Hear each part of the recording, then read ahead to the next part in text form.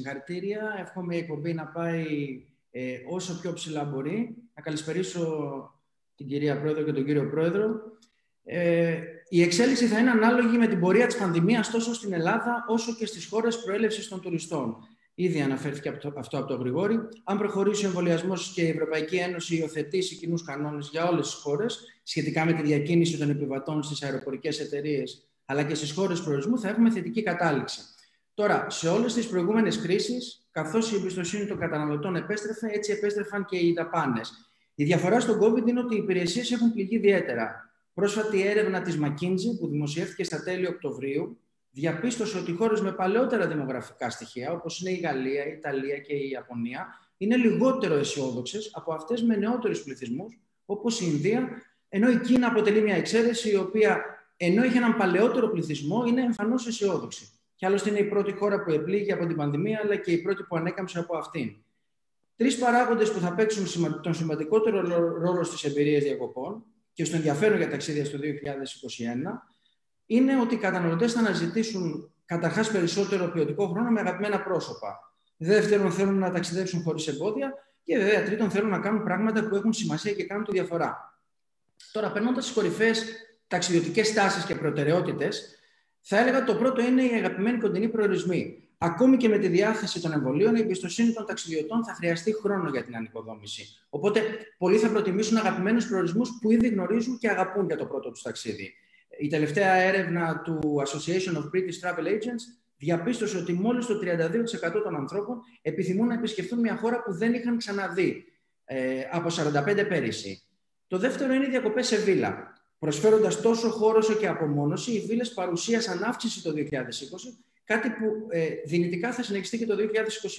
Καλώς, καθώς οι πολυεθνικές ε, οικογένειες, οι ομάδες φίλων ψάχνουν να επανασυνδεθούν κάπου ε, φανταστείτε ότι η εταιρεία CD Villas που είναι στο Ηνωμένο Βασίλειο ανακοίνωσε άνοδο 33% από έτος σε έτος το 2020 με τις νέες κρατήσεις να έχουν αυξηθεί κατά 7% και την Ελλάδα να δείχνει 37% αύξηση και την Ιταλία 32%. Αυτό το ρεύμα φαίνεται να, ότι θα έρθει και το 2021. Ο οδικό τουρισμός, ο Γρηγόρης το ξέρει καλά, βρίσκεται και χωροταξικά σε γεωγραφική περιοχή που επηρεάζεται θετικά οι ταξιδιώτες θέλουν να ελαχιστοποιήσουν την επαφή με άλλους, άρα έχει γίνει ελκυστική η οδήγηση. Δηλαδή πηγαίνουν εκεί που θέλουν, όταν θέλουν, χωρίς χρονοδιάγραμμα, σε προορισμούς πιο κοντά στη χώρα τους. Στη δική μας ε, γεωγραφική περιοχή φαίνεται ότι και πάλι οι Βαλκάνοι είναι διατεθειμένοι να ταξιδέψουν στον βόρειο άξονα.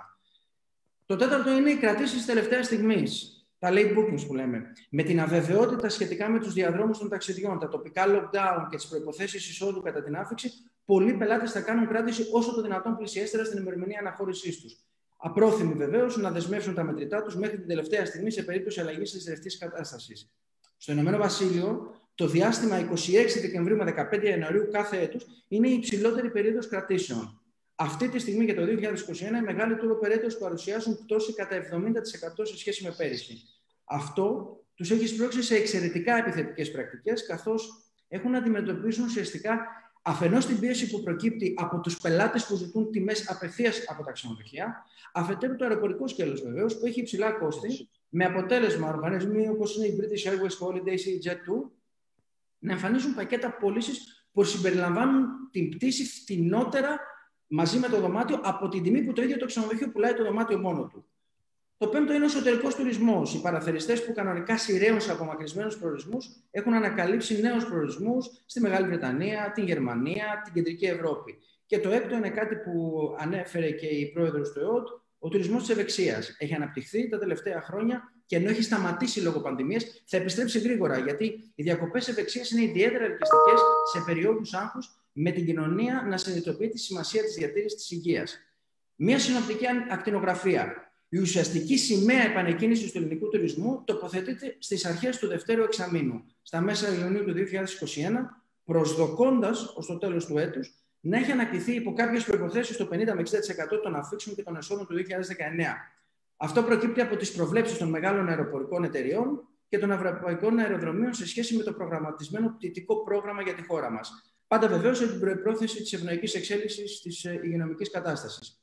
Σε όσα στην ε, ξενοδοχεία στην επικράτεια τολμώ να πω επιτραπεί να ανοίξουν για το καθολικό Πάσχα που είναι στις 4 Απριλίου, σίγουρα θα παρουσιάσουν την αναμενόμενη πτώση μεταξύ 15 Απριλίου και 15 Μαΐου. ενώ στα μέσα Μαΐου φαίνεται ότι η αγορά του Ισραήλ θα κινηθεί λόγω θρησκευτικών εορτών. Ακολουθούμε από την Γερμανία λόγω της Πεντηκοστής και των Άγγλων όπου ταξιδεύουν για το λεγόμενο half term.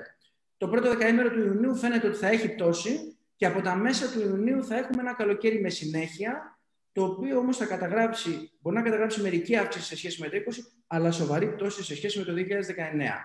Τώρα, ένας στους τρεις ενήλικες πολίτες του Ηνωμένου Βασιλείου σκοπεύουν να κάνουν διακοπές. Φαίνεται ότι η ηλικιακή ομάδα 25-44 ετών είναι η κατηγορία που δηλώνει ότι το πιθανότερο είναι να κάνουν κράτηση, όπως και το 45% των οικογενειών με παιδιά.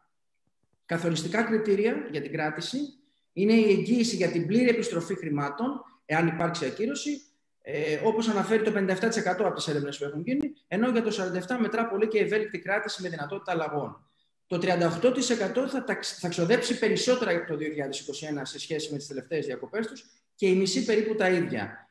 Σχετικά με τον τύπο διακοπών, το 42% σχεδιάζει διακοπές στην παραλία, το 19% αποδράσεις σε πόλεις, ενώ δεν διαφοροποιείται η διάρκεια των διακοπών. Στη Γερμανία φαίνεται ότι αν εντός του β' τριμήνου του έτους έχουν εμβολιαστεί οι περισσότεροι, τότε θα υπάρχει ασφάλεια για να ταξιδέψουν.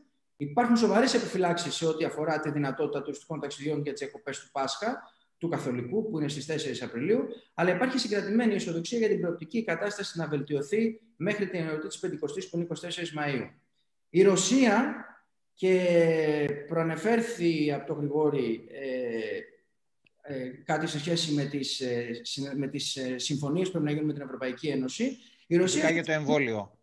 Η Ρωσία αυτή τη στιγμή είναι αναμονή κίνησης τη Ελλάδος. Ουσιαστικά η Κύπρος υπέγραψε μια συμφωνία όπου επιτρέπει την είσοδο σε τουρίστες από 56 χώρες της Ευρωπαϊκής Ένωσης, Ρωσίας, Μεγάλης Βρετανίας και Μέσης Ανατολής με τεστ.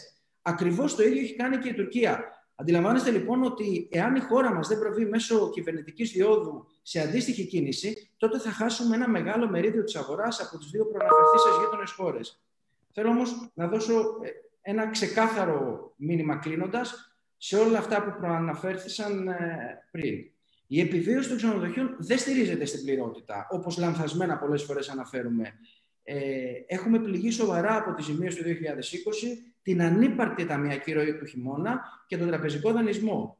Επιπροσθέτως, θα αντιμετωπίσουμε μεγάλο ανταγωνισμό, καθώς λόγω της περισσυνής υγειονομικής κατάστασης η Ελλάδα δεν είχε ουσιαστική χώρα να την ανταγωνίζεται εκτός ίσως της Πορτογαλίας, ενώ το 2021 επανέρχονται όλες οι γυτνιάζουσες χώρες της Μεσογειακής Λεκάνης με τη Ισπανία, Ιταλία, Τουρκία, Μαρόκο, την Ισία και Αίγυπτο να πρωτοστατούν όπως πάντοτε σε επιθετικές πολιτικές πωλήσεων και προσφορών και της Γαλλία, Πορτογαλία να ακολουθούν από κοντά.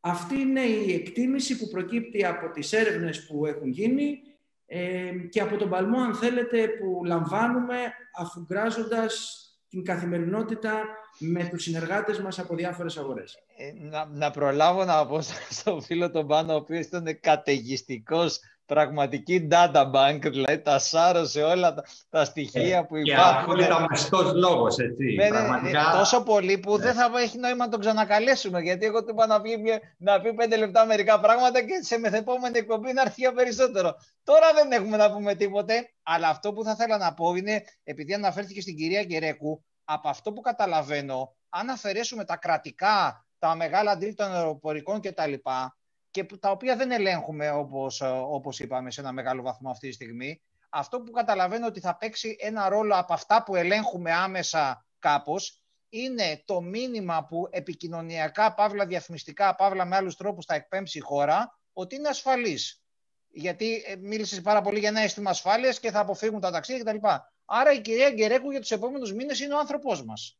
Τελικά. Δηλαδή, όλοι θα βλέπουμε τις καμπάνιες είναι σαφές και σε αυτό το σημείο να πω ότι έχει ε, σίγουρα ε, έχουμε όλοι εκπλαγεί θετικά διότι από τις αρχές της πανδημίας, από το πρώτο lockdown, αν θέλετε, από το Μάρτιο, το έχω πει πολλάκις και θα το ξαναπώ γιατί είναι προς τιμήν μας, ε, είναι εξαιρετικό το γεγονός ότι θεσμικοί, μη θεσμικοί φορείς, κυβερνητικοί παράγοντες, υπουργοί, υφυπουργοί, γενικότερα όλοι μαζί δείξαμε ομοψυχία, ε, επικοινωνήσαμε κάτι σπάνιο. Ε, είπες, Δημήτρη, πριν κάτι πολύ σημαντικό, ότι ουσιαστικά πήγαμε από το κομμάτι της όχι πολύ έντονης επικοινωνίας, έλεγες στην κυρία Πρόεδρο πριν, στην, στην υπερβολική, αν το θέλουμε, δημοκρατία. Όμως νομίζω ότι αυτό έδειξε τη δύναμή μας και σαφέστατα είναι η παρακαταθήκη μας. Εγώ επέλεξα να πω ορισμένα πράγματα τα οποία ε, έχουν να κάνουν με,